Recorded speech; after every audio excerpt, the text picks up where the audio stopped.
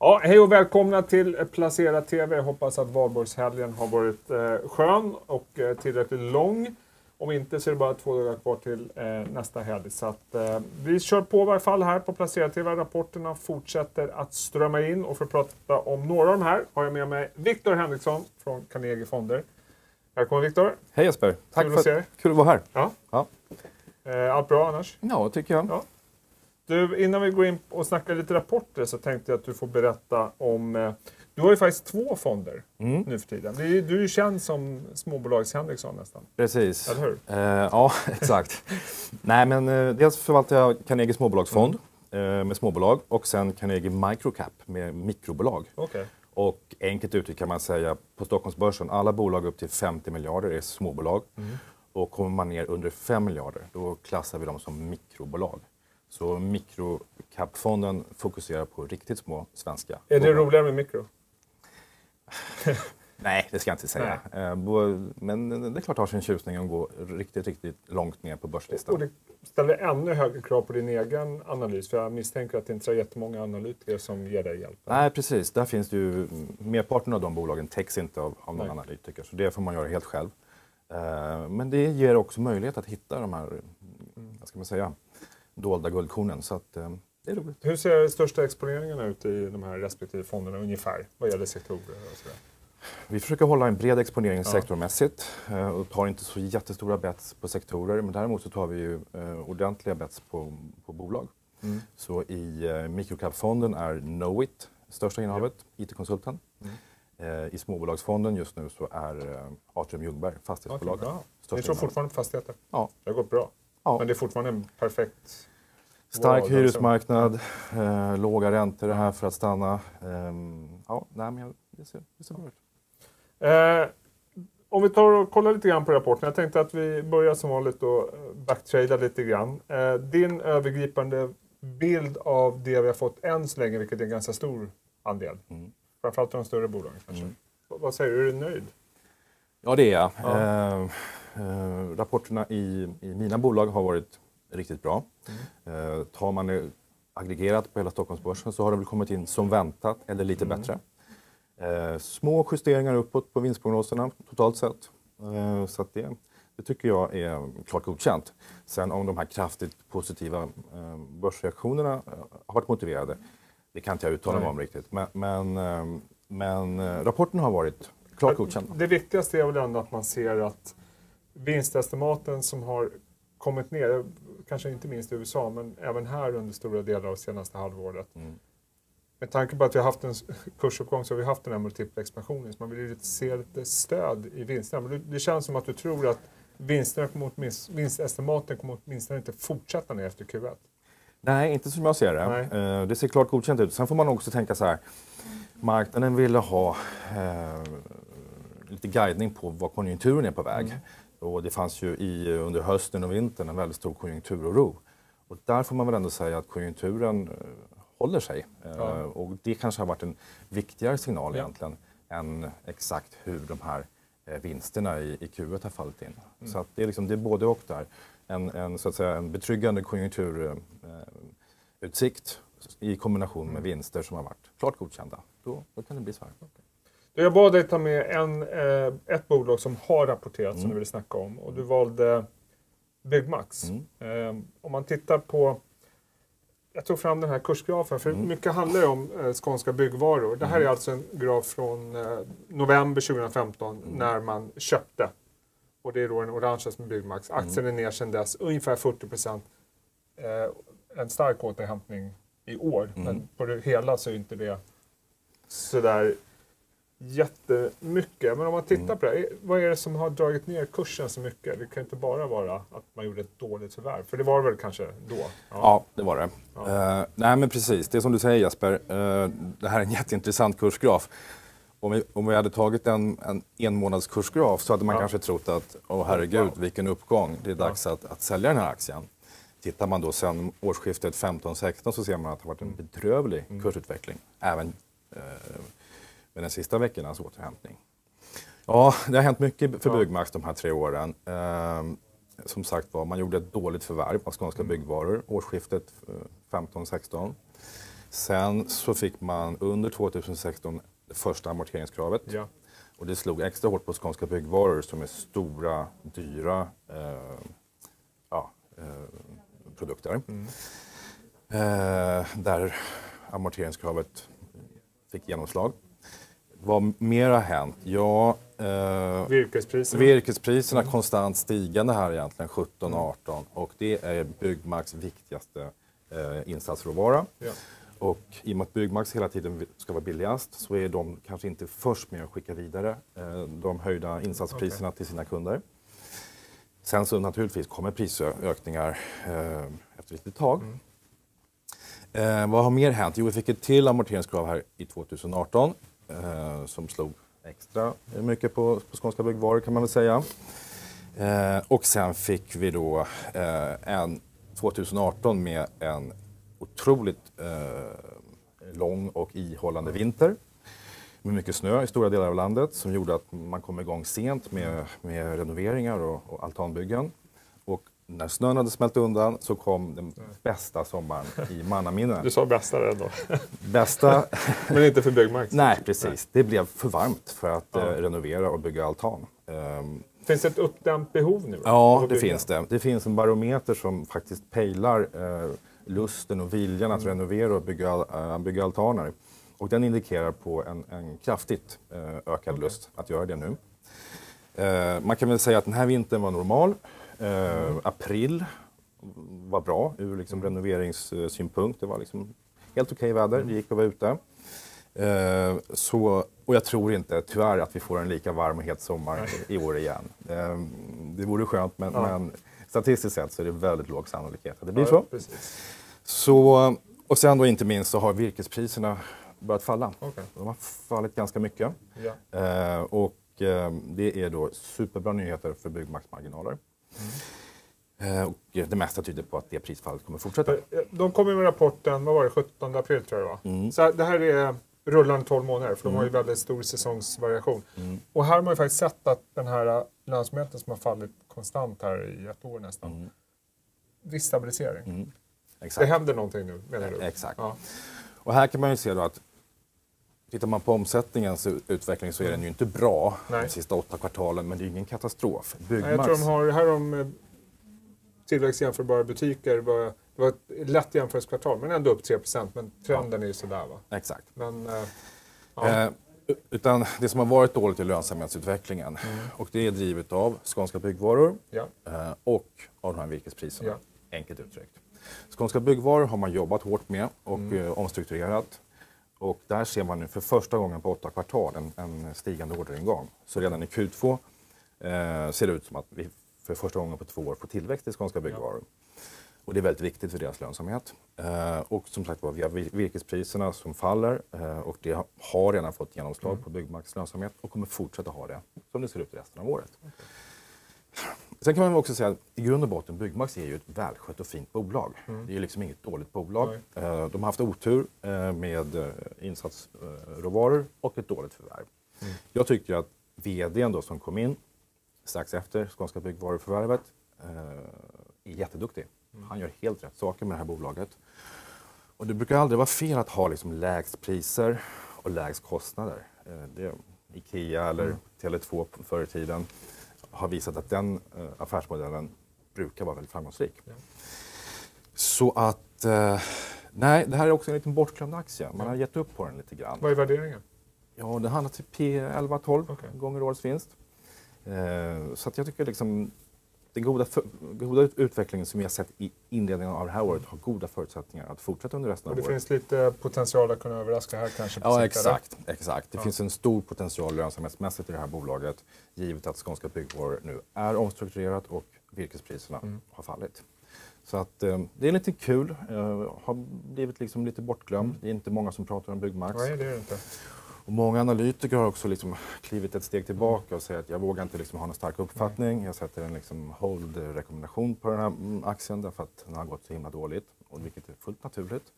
Eh, och sen så, så har vi sett nu en liten återhämtning här i början på året. Men, men som sagt, P11-12 på ett i grund och botten väldigt fint och välskött bolag eh, med en bra lönsamhetsutveckling i, i år. Det tycker jag kan vara Det intressant. låter intressant. Ja. Eh, ska vi gå tillbaka till vad som händer nu då?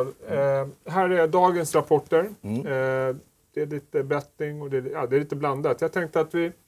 En som har kommit nu imorgon det är Nordic eh, Waterproofing. Ja. Eh, också ett säsongsmässigt svagt kvartal. Det är också, Mm. jag, därför jag tar rullen 12 månader. Det jag slogs av det var att, ja, att det här fortsätter på något sätt. Mm. Lönsamheten, eh, det är ingen positiv trend. Nej. Eh, nej, det stämmer. Sen kan man väl säga att första kvartalet är ju ett säsongsmässigt väldigt litet kvartal för en takläggare. Eh, och eh, svagt kvartal lönsamhetsmässigt då Mm. för det här bolaget. Och den säsongsmässigheten har faktiskt ökat lite grann. Okej. Eh, efter att de köpte, gjorde stort förvärv Mm. i förra, förra året av ett enkelt uttryckt grästaksbolag. Är belgiskt var det va? Ett svenskt bolag Jaha, som, heter, som okej. heter Vegtech. Eh, det, och det eh, det är inte gräs egentligen Nej. på taken men det är växt, växt, De växter är på taket. exponerade mot den eh, Exakt. säsongs... Och man kan inte så de här Nej. taken när det är minusgrader så att i Q1 så är det egentligen, ja, det står stilla egentligen. Okej. Men naturligtvis har de kostnader så det genererar förluster Mm. i Q1 och det här kommer man ta igen under Q2 och Q3. Ja. Eh, Men det är som du säger, lönsamheten i det här bolaget har eh, kommit ner lite grann och det har varit mycket, har varit mycket drivet av eh, råvarupriser. Mm. Oljepriset är en viktig insatskomponent för Nordic Waterproofing. Mm. Men man har höjt priserna ut mot kund så jag ser goda förutsättningar för Nordic Waterproofing att förbättra sin lönsamhet under Q2 och Q3. Eh, Naturligtvis så, så blir man lite, man hajar till när man ser ett minusresultat på några miljoner kronor i Q1 men jag tror inte det är någonting som... Det är en säsongseffekt. Det är en säsongseffekt och den säsongseffekten har som sagt stärkts av det här senaste förvärvet. Eh, bolaget är, nöjda med utvecklingen. Mm. Man har en 20-procentig omsättningstillväxt i Q1. Ja. varav 5 organiskt. 5 Det är väl helt organiskt. okej. Det är helt okej. Sådär. Eh, ja, precis. Ja. Så, så, och jag tror att lönsamhetsutvecklingen under, under Q2 och Q3 Mm. kommer vara väldigt bra i det här bolaget.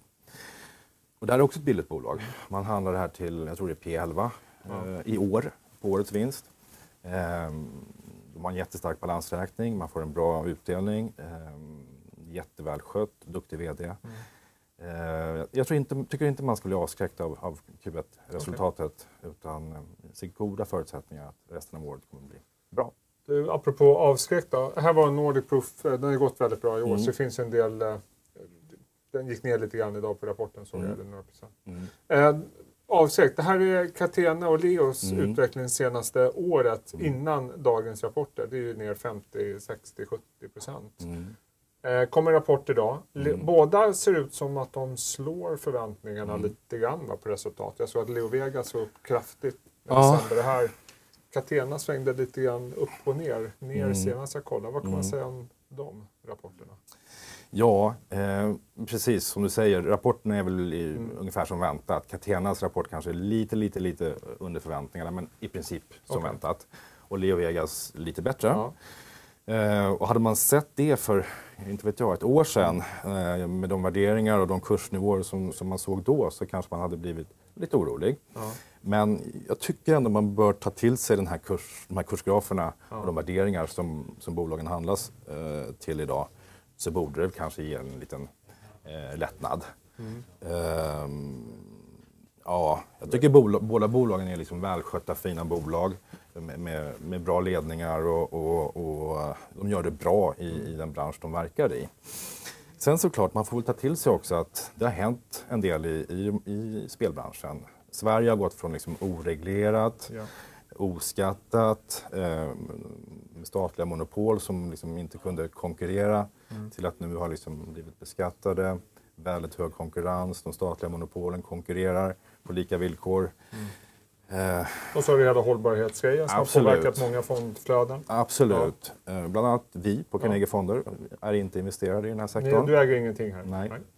Ehm, så visst, det får man ta till sig. Men i det korta, korta, korta Mm. så tycker jag väl att rapporterna från båda de här bolagen borde ge en, en, en viss lättnad. Ehm, på längre sikt så ser ju värderingarna ganska Mm. låga ut i, i, i sektorn generellt och i de här bolagen, absolut. Samtidigt ska man ha lite is i magen tror jag för att vara investerad i den här sektorn. Det kommer säkert hända saker, det kan komma nya regleringar. Ehm, Nu diskuterar spelreklam och... Ja, precis. Man, man ska nog ha lite is i magen. eh, Men, eh, men som sagt, Jag tycker värderingarna ser ganska okej ut. Ja. Och, och de här rapporterna, Leos rapport är bra, Catenas rapport är okej. Vad säger du om Catena? De skjuter lite grann på vinstmålet som jag tolkar det. Ja. Om man ser det målet de sätter upp nu i relation till vad analytiker förväntar sig, Mm. för det är egentligen det som är det intressanta. Mm. Hur står Precis. sig? precis. Nej, men de, har, de hade ett lönsamhetsmål om att tjäna 100 miljoner euro eh, 2020. Mm. Och nu skjuter man på det målet ett år. Att nu ska man tjäna 100 miljoner euro 2021. Mm. Och det är naturligtvis inte bra att skjuta på ett lönsamhetsmål. Men det finns ingen eh, i marknaden som tror att de ska nå eh, 100 miljoner euro 2020. Okej. Mm, Analytikernas prognoser ligger ju långt, långt under det. Mm. Och eh, prognoserna ligger faktiskt långt under 100 miljoner euro även 2021, Okej. som det nya målet är. Då. Ja, ja. Så jag skulle nog kanske vilja vända på det lite grann. Jag tycker det är en lite, ja, vad ska man säga, lite betryggande ändå att de eh, behåller målet även fast de skjuter på det. Okej. Eh, Och skulle de nå 100 miljoner Mm. euro 2021 så är aktien jätte, jättebillig. Men som sagt, osvuret är bäst. Okej. Mm. Du, jag tänkte vi eh, avsluta med eh, några bolag som eh, inte har rapporterat än, men som Mm. rapporterar i eftermiddag klockan ett tror jag nämligen. Mm. Är det Core har haft jättefin eh, utveckling, eh, inte minst i år. Mm. Eh, vad, jag tror den är upp 30 procent i år nästan. Mm. Vad, vad, vad vill du se i den rapporten? Om man, jag ju nästan bläddra fram en bild. Det här är också den här bra topline men lite pressade marginaler. Mm. Det är ganska snäv skala här ska jag Ja. säga. Så att det, inte några, det, det är inte så dramatiskt som det ser ut. Nej. Eh, Core är ett kanonfint bolag, välskött, Mm. duktig ledning och det här med att ta kontrakt på att ja, outsourcing-kontrakt, det ligger ju i tiden och det tror jag bara kommer fortsätta. Mm. Ja. Eh, Core har gjort det bra eh, senaste året, de har tagit många stora kontrakt, de har också gjort några förvärv. Mm. Eh, så det, liksom, det finns inget att klaga på. Den här lönsamhetsutvecklingen eh, är till stor del en följd av att de har tagit många stora nya kontrakt som kostar lite pengar eh, i början men som mm, på sikt är, Kommer stabilisera är väldigt positivt för lönsamheten. Så, att, så jag tycker inte det är någonting att säga. Eh, vad man vill se i rapporten, ja, de ska bara fortsätta göra det de är bra på. Eh, eh, men som sagt, de har haft en del stora ordrar på, på eh, senaste halvåret. Mm. Så det kan komma att påverka lönsamheten lite grann i det korta. Men den här aktien ska man nog äga på lång sikt. Okej. Jag tror de kommer fortsätta göra ett bra, bra jobb. Organisk tillväxt är ju fortsatt bra. Det här är alltså fram till och med Q4. då. Ja, precis. Nej, men Ja. De gör ett jättebra jobb. Men eh, just avseende Q1-rapporten, nej, det här har jag faktiskt ingen stark uppfattning. Business. Och sen har vi då Fenix. Det här är lite intressant. för Det här är en populär aktie hos många. Mm. Eh, den har ju inte haft någon sån här jättefin utveckling. Det här är ett år, men tittar på två år så har den inte slagit börsen heller. Men däremot ser du lång sikt, då är den ju överlägsen. Mm. Eh, och kommer också med rapport. Ja, alltså jag, jag var ju lyssnat på dem för något år sedan. var superimponerad av deras story. Jag är också imponerad. Eh, jag tycker de gör det jätte, jättebra. Eh, Phoenix Outdoor, för de som inte vet det, så är det viktigaste fjällräven. Då. Ja. I, i, de har ett antal eh, fina varumärken i, i bolaget, varav fjällräven är det största Mm. viktigaste. Och där kan man väl säga att det finns så himla mycket som gynnar eh, fjällräven just Ja, nu, på sikt Mm. och idag. Det är liksom frisk eh, hälsotrend, eh, det är miljötrend, jag tror att man kanske kommer mer semestra nära, Ja. eh, fjällvandra eller liksom gå på tur. Ehm, det är också ett bolag som har ett väldigt, väldigt bra på miljö, alltså högt miljötänk i bolaget. Det är också en tydlig identitet. Du ser en fjällrävenjacka på 100 meters håll. Eh, du- Sen kan du tycka om den eller inte tycka om den, men det är en väldigt tydlig identitet. Och det tror jag blir allt mer viktigt med e-handel, eh, att du, liksom, du måste sticka ut. Ehm, och det gör fjällräven. Ja. Så det finns väldigt många positiva saker med fjällräven. Sen kan man väl säga värderingsmässigt för ett par år sedan som din kursgraf visade var aktien inte dyr skulle jag inte vilja säga, men, men den kanske inte var jättebillig. Sen har det varit lite frågetecken kring väder även i, Ja. i, i Phoenix. Eh, vintern eh, kom sent Mm. under 2018, sen kom den eh, med besked. Eh, och nu ser, ser vår och sommarsäsongen lovande ut. Ja. Det här är också en aktie som jag tror man ska äga. Ett jättefint, välskött, bra bolag. Men, En men, tydlig identitet, men jag tycker Mm. också det finns en tydlig säga, intern identitet. Alltså Mm. Det jag gillar ofta med det är att de det är liksom försiktiga generaler. Mm. De- De tar liksom ett steg i taget, Mm. de analyserar, utvärderar. Eh, de är inte sådär jätteaggressiva i Nej. sin tillväxt, eh, förvärvstillväxt och så vidare. Utan Nej, det nej. finns någon väldigt tydlighet i den organisationen. Jag håller med. De gör det jättebra. Eh, och sen kan man väl också säga då att, att om aktien inte var superbillig för två år Mm. sedan så nu har den blivit ganska billig. Eh, och med de här starka fina varumärkena, man kan ju göra jämförelser internationellt med eh, Canada Goose och, och några andra bolag som är jättehögt värderade. Mm. Och i ljuset av det, då, då är det här ett fynd. Eh, men eh, nej, jag tycker man, liksom, man kan se att det här är ett fint och välskött bolag med framtiden för Mm. sig. Eh, Och inte dyrt längre. värderingen har kommit ner. Ehm, och eh, ja, det är, det är bra så. Du, eh, det kommer en del rapporter imorgon också. Är det någon Mm. av de här som du tycker eh, sticker ut? Oj, det är många intressanta i bolag. till exempel. Ja, precis. Eh, bolag. Raiders tycker jag är lite Ja. roligt. Mm, det är ju liksom en teknikkonsult. eh, där Sweco och, OF har gått Ja. som ja, fantastiskt under lång tid, gjort ett, också ett fantastiskt bra jobb. Där Railers har släpat Mm. lönsamhetsmässigt. är på väg tillbaka lite grann nu. med En eh, ny VD som jag tycker gör helt rätt saker. Och jag tror att Railers kommer fortsätta närma sig ÅF och Sweco Mm. lönsamhetsmässigt. Och lyckas de med det så, så är aktien fortfarande billig. Okej. Så den kan man väl hålla ögonen Mm. på. Det man vill se i den rapporten är ju att den här lönsamhetsförbättringen fortsätter. Eh, och gör den det så, som sagt var, då är aktien fortsatt köpvärd. Men annars är det ju många spännande bolag här som många här tittar mycket på. svår. Allas Ja, favorit för ett par månader sedan Ja. innan vinstvarningen. ja, precis. Eh, Mm, den visar ju lite grann på att det även är liksom... defensiva. Ja, det kan finnas risker även i defensiva bolag och det här med politisk risk ska Mm. man väl också ta till sig. Den finns där precis som i, i spelbolagen. Ja, Mm. det blir väl bra. Det Kul. här ska- Jag tycker det ska bli kul också. att titta. Ja, precis. Du, det här var väl informativt och trevligt? Ja. Då har vi lärt oss massor. Kul att vara här Jesper. Ja, kul Mm. att du kom. Tack. Ses snart igen. gör vi. Ha det bra. Tack. Och tack för att ni har tittat.